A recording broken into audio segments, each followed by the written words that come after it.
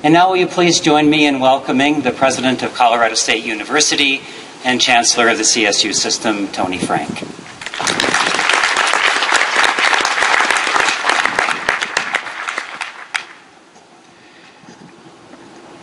I find myself as I get a little older being tempted with distractions as I start remarks. Um, Bruce's use of the word exile combines with my own liberal arts education that I'm proud of and tempts me to go back to some turning this whole speech into something about wandering in the wilderness um, or perhaps the temptations of philosophy. The veterinarian in me is tempted to dwell on cat barf, um, which I could extol for some time. My own beginning to these remarks has largely been stolen by Ann, where I was going to speculate on the loss of culture we had from losing the small entryway where students had unique and nearly continuous and often high speed opportunities to bond with each other. Um, so I'll just instead um, move to my remarks here. And I, I, will say as I begin that I think it's incredibly fitting uh, that the celebration is called Home Again.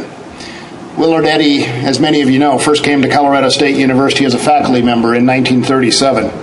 And he came with the belief that there should be a home for the liberal arts at any institution of higher education, even an A&M college that in those days was more interested more in irrigation, animal husbandry, and home economics than planetary poetry or Plato. I never knew Professor Eddy personally, but I've read some of the things that he wrote, and I've heard stories, stories from people like Bernie Rollin and Loren Crabtree, who worked closely with him for many years.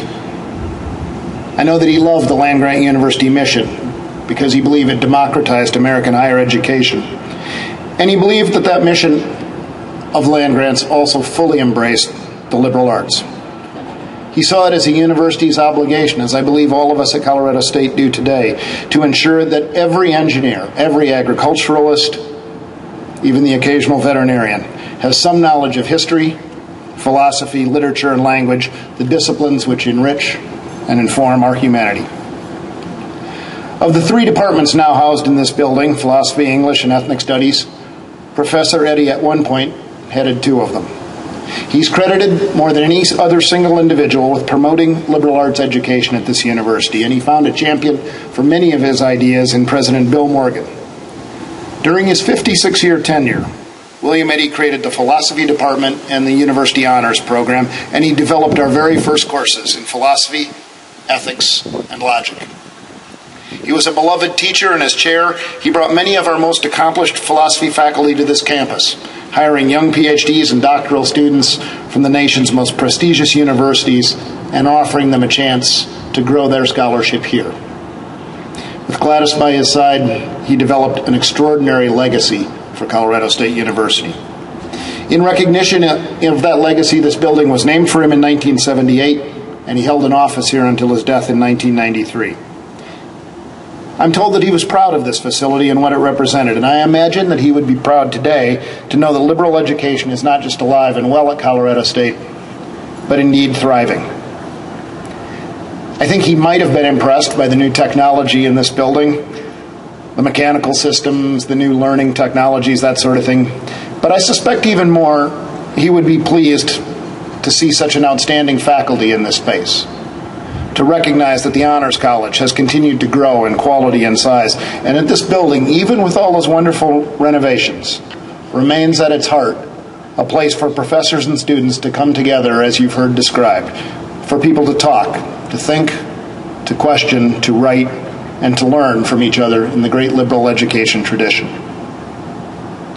I suspect that Professor Eddy would also be proud to see this renovation occurring during the tenure of another great champion of the liberal arts, Dean Ann Gill.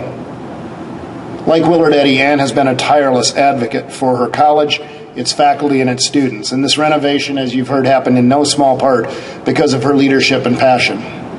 I'm skeptical that Professor Eddy would ever have brought photographs of restrooms to a university planning and budget hearing to pressure us about renovations, but I think he would have respected the passion that Ann had when she brought those photographs.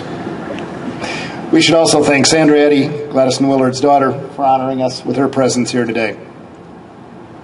So let me close with this thought. Even with its tiny doorway, Eddy Hall has always been a gateway to bigger things, to expansive ideas, to great dreams, serious questions, the gateway to important and lasting work. Joking aside, we're all glad we've improved the entryway. But I think we're all happier still that we've preserved, restored, and revitalized a gateway to learning and to a liberal arts education that is Willard Eddy's legacy at Colorado State University. Thank you.